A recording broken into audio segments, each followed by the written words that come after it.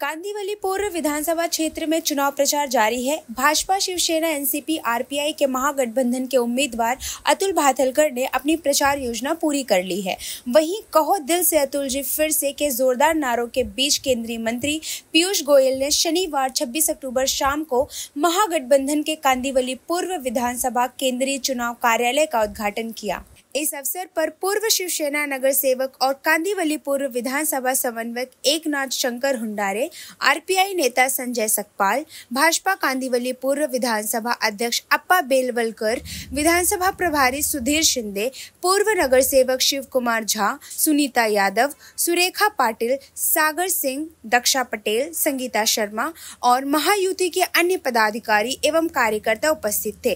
कांदीवली पूर्व विधानसभा केंद्रीय चुनाव कार्यालय आकुर्ली रोड पर रोटी बैंक के पास दीप्ति सोसाइटी में स्थापित किया गया है। चाहेंगे आज अतुल जी के अतुल जी ने जो काम किया है दस वर्षों में कांदिवली पूर्व में वैसे तो पचपन वर्ष के आयु में पैंतीस वर्ष इन्होंने देश की सेवा के लिए पूरी तरीके से झोंका है।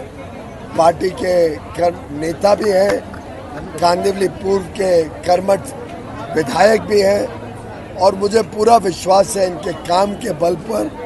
ये बहुत बड़ी मात्रा से मार्जिन से यहाँ से विजयी होंगे और कांदिवली पूर्व और महाराष्ट्र की सेवा करेंगे।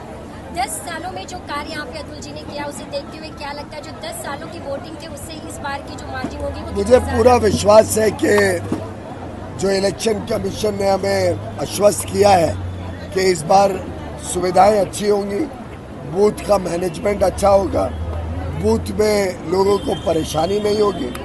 मौसम भी अच्छा है। सोमवार के बदले बुधवार को चुनाव है, वो भी एक अच्छा संकेत है।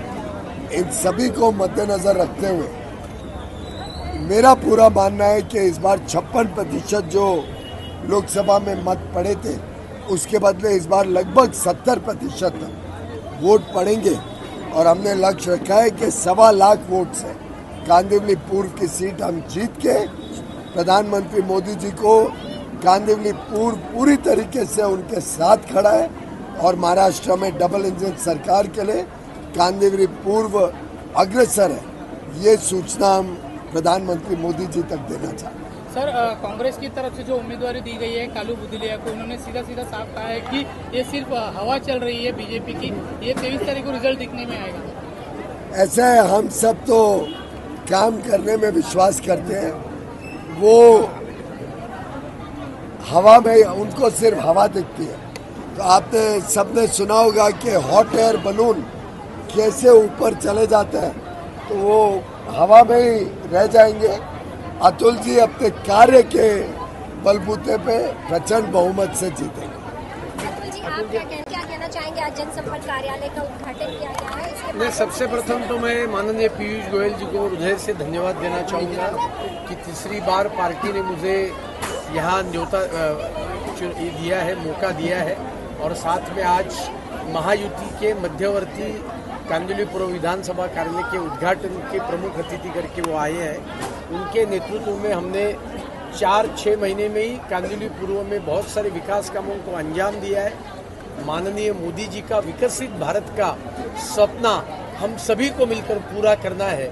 और महायुति ने जो विकास कामों का झंझावात पूरे मुंबई और महाराष्ट्र में चालू किया है, उसको भी आने वाले दिन में और आगे लेके जाना है। ये सब विषयों को देखते हुए मुझे पूरा विश्वास है। एक लाख से भी ज़्यादा मतों से यहाँ से कमल खिलेगा।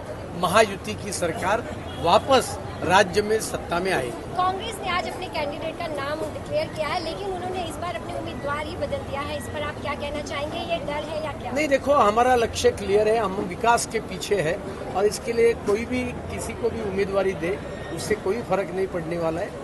और इसके लिए मैं किसी व्यक्ति विशेष की टिक्का टिप्पणी नहीं करना चाहता हूँ। हम जीत रहे हम जीतेंगे और मुंबई का कांदिवली पूर्व का और ज़्यादा विकास ज़ोर में करेंगे